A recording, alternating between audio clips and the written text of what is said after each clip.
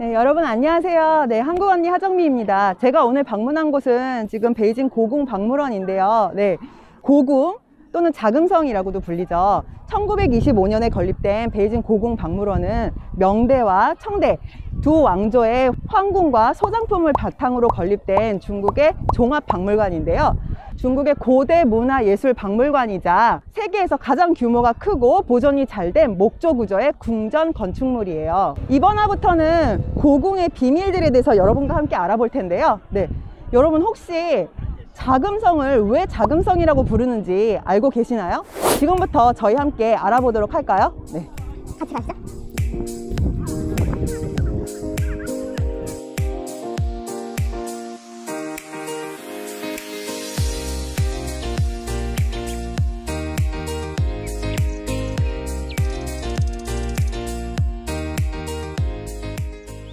고궁은 옛 황궁이라는 뜻으로 명대와 청대에는 고궁이 아니라 자금성이라고 불렀는데요. 자금성이라는 이름은 천문학에서 유래했다고 해요.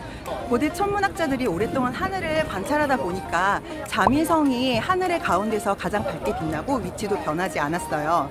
고대 전설에 따르면 우주를 다스리는 지존나 위험의 옥황상제는 천궁에 살고 있다고 믿었거든요.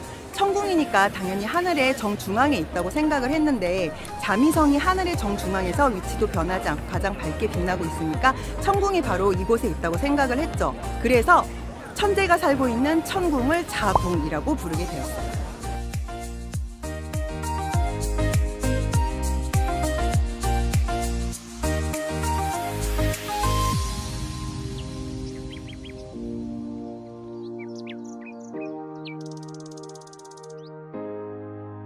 역대 봉건왕조 통치자들은 스스로를 하늘의 아들, 즉 천자라고 불렀어요. 천부가 하늘에 살고 있는 곳을 자궁이라고 부르니까 아들이 인간 세상에서 살고 있는 곳도 자궁이라고 불렀죠.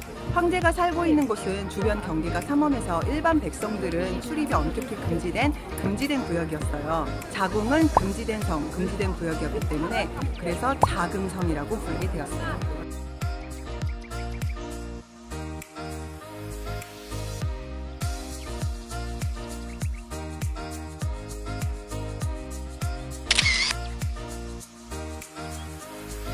지금까지 자금성 명칭의 유래에 대해서 알아보았는데요. 그 외에도 자금성은 많은 비밀을 많이 간직하고 있어요. 최근 2년 동안 고궁의 고양이들이 왕후로 승진했는데요. 여러분 혹시 고궁에 고양이가 총 몇 마리가 있는지 알고 계신가요? 네. 혹시 아시는 분들은 이 아래 댓글로 남겨주시고요. 정답은 다음 회에서 알려드리도록 하겠습니다. 네. 앞으로도 저희 고궁의 비밀에 대해서 계속 알아볼 텐데요. 많은 기대 부탁드리고요. 저희는 그럼 다음 회에서 계속 만나도록 하겠습니다. 감사합니다. Dadah.